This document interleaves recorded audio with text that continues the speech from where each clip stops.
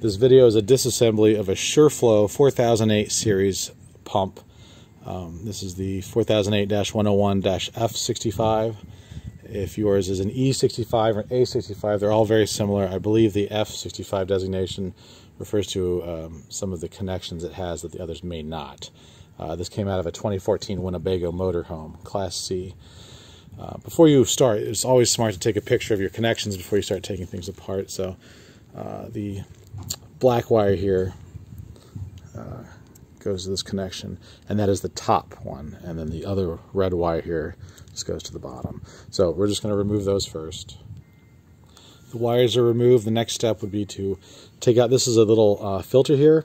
So uh, water direction, I don't know if you can see the arrow, goes that way in the pump.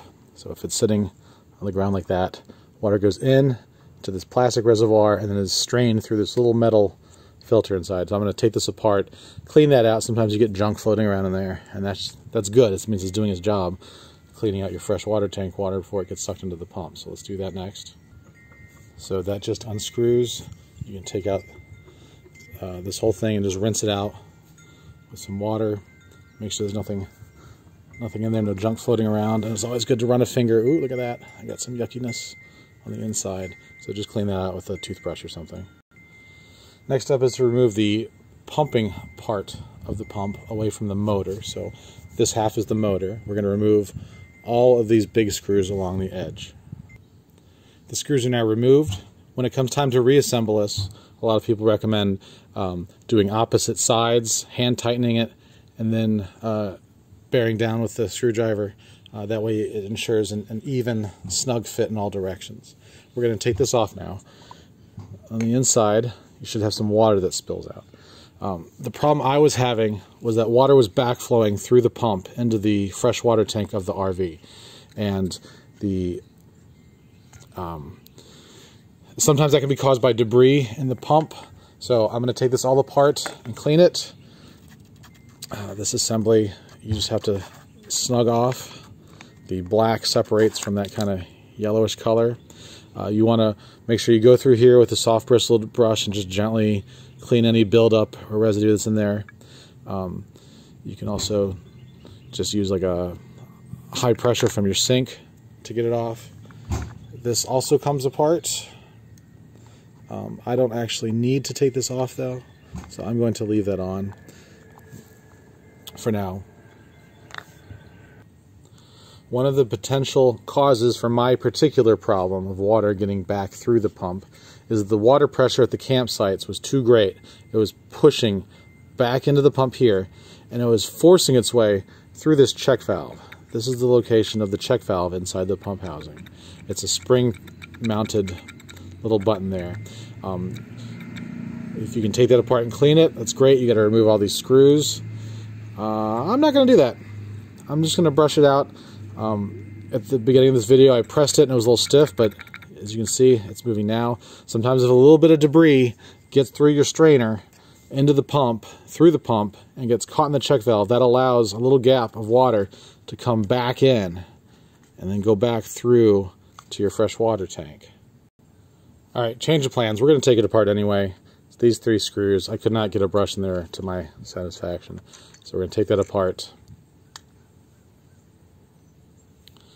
This whole back comes off. You want to make sure you don't lose your spring when you open it up. And don't lose any O-rings.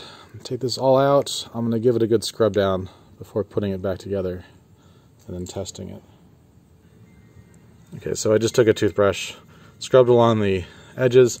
Um, anytime you take it apart an old pump, you should replace all the O-rings, and I don't have any spares. Uh, so I'm just taking the time to make sure I go around and use some some warm water and a toothbrush and just scrub all the, the surfaces I can. Uh, you should do that to inside of this if there's any buildup in there. And you should, I already mentioned, wash this off as best as you can. Well, I've reassembled it uh, and tested it, and unfortunately, cleaning it out did not solve my problem. So I'm going to have to buy another check valve, which is available on Amazon. I tested this by, once again, flow goes that direction, blowing into this and see if you hear any air come back through here.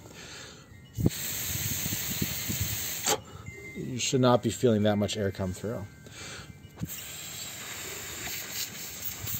Yeah, that's that's a lot. Okay, so uh, I guess I'm gonna have to buy a new check valve. Uh, another option is you get a separate check valve, um, and you put it on the outside, the side, the direction of the water going. Screw that on tight. Um, I bought this one off of Amazon for like ten dollars, and this was not a good choice. I hooked it all up, put all the tape on, reassembled everything, and the amount of pressure required to get through that valve was just too great for the pump. So the pump was struggling to push water out, and once a little bit of water came through, it would cut off right away. And then it would start again and stop again and start again and stop again.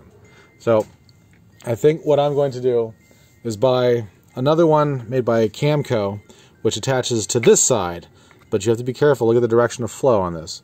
So this one I bought will not match up. But I'd have to either buy adapters or just a separate piece. I bought this one because ideally you don't want your check valve on the freshwater tank side because when the pump activates, it's having to suck water through something that has a slight resistance at the beginning. It's like sucking water through a pinched straw. It's, you don't want to give it any more work that it has to do. So that's why I tried to get one for the output side. Um, but again, I, this one didn't work for me. Maybe you can find one that works for you. I'll try and find another one that works for me. The last thing I'll say in this video is that I saw one other video where a gentleman mentioned that you might be able to adjust the flow rate of the pump by using an Allen wrench. And that or that, and I haven't tried it yet. But he did it on the video, and you could hear the pitch of the pump sounded different. Uh, when he started, his whole RV was shaking because of the water hammering. Uh, but when he adjusted it, it sounded a little bit more smooth. So I might try that too.